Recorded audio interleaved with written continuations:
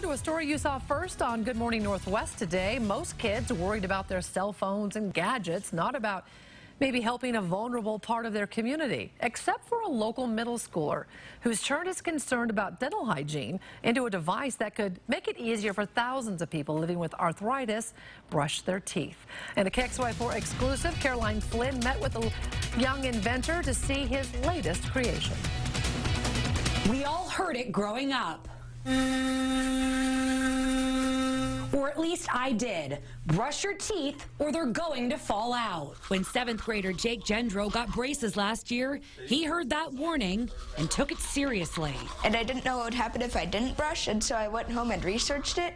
And I actually found that not brushing can lead to bad looking teeth, bad breath, bleeding or swollen gums. Those were just the obvious problems. Then Jake learned not brushing could lead to death, and the wheels started turning literally.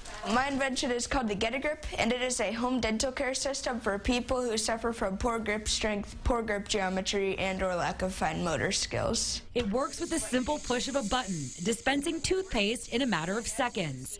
See, Jake is a problem solver and an already accomplished inventor. And finding a problem, thinking up an idea to solve that problem, and how I can make it work, overcoming all the issues I run into, I just find that really fun. Last month, Get-A-Grip won at Invent Washington.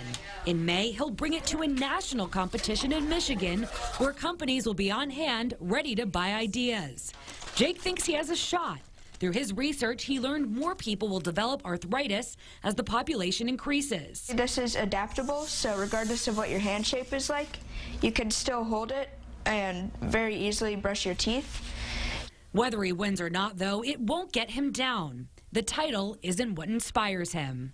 It's a pretty serious issue, and I want to make it easier for them to live alone.